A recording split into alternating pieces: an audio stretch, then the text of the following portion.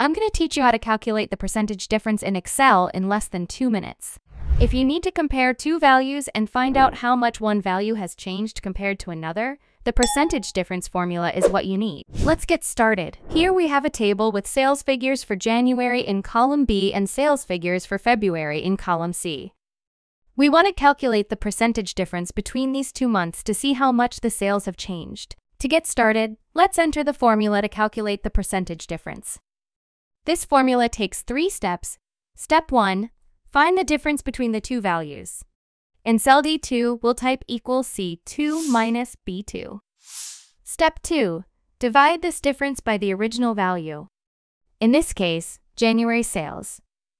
So in cell D2, we'll modify the formula to equal C2 minus B2 divided by B2.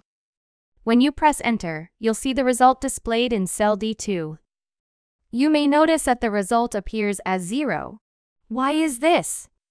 Because it doesn't have the correct format. We'll fix this, but before we do, if you want to become an Excel master, I'm giving away my $397 beginner to expert Excel course for free to all my subscribers. All you need to do is subscribe to the channel, like this video, and comment I want the course below. I'll send you a personal link to download it for free.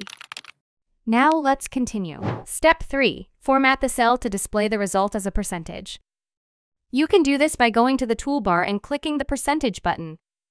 This will convert the decimal value to a percentage format.